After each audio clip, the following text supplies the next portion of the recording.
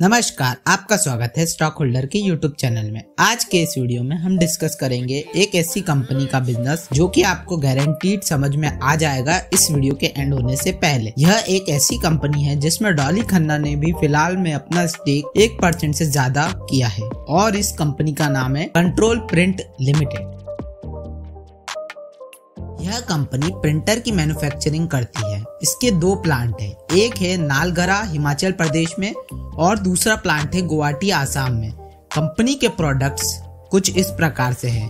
Continuous inkjet printer high resolution printer thermal inkjet printer thermal transfer over printer larger character printer laser printer company का revenue इन segment से आया है। Consumable and spare parts 136.24 crore जो कि printers के parts होते हैं। दूसरा है coding and marking system 40.78 crore यह कंपनी के प्रोडक्ट्स हैं, जो कि कंपनी सेल करके इनकम जनरेट करती है। कंपनी अपनी सर्विसेज़ भी ऑफ़र करती है, जिससे उन्हें 26.45 करोड़ का रेवेन्यू जनरेट हुआ है।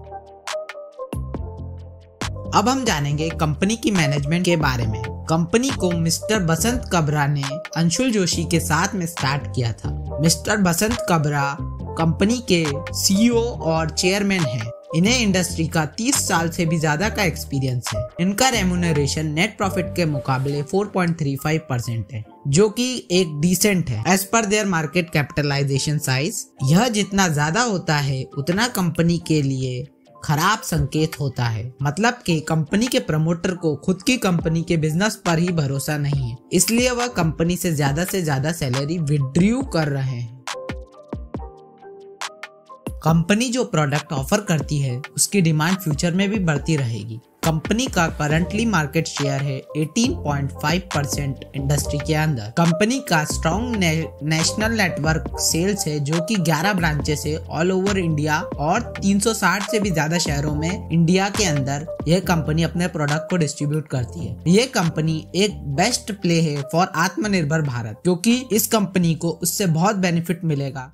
अब हम जान लेते हैं कंपनी के कुछ की इम्पोर्टेंट रेशियो कंपनी का प्राइस टू अर्निंग रेशियो 17 का है। इसका मतलब यह होता है कि एक रुपए की कमाई के पीछे इन्वेस्टर आज कंपनी को सत्रह रुपए देने को राज़ी है। कंपनी का आर वहीं पे 14.1 परसेंट का है। कंपनी का आर ओ सी परसेंट का है, जो कि अच्छा माना जाता है।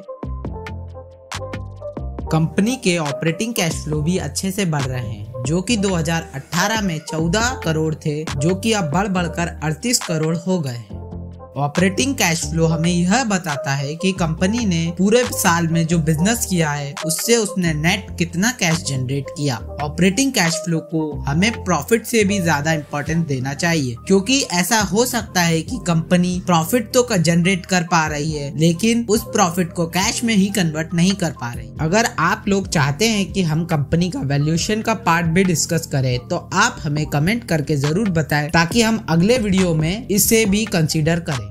आपका मूल्यवान समय देने के लिए धन्यवाद। हमारे इस वीडियो को ज़्यादा से ज़्यादा लाइक करें और इस वीडियो को शेयर करके इंडिया में फाइनेंशियल अवेयरनेस को फैलाने में हमारी मदद करें। सब्सक्राइब करें स्टॉक होल्डर यूट्यूब चैनल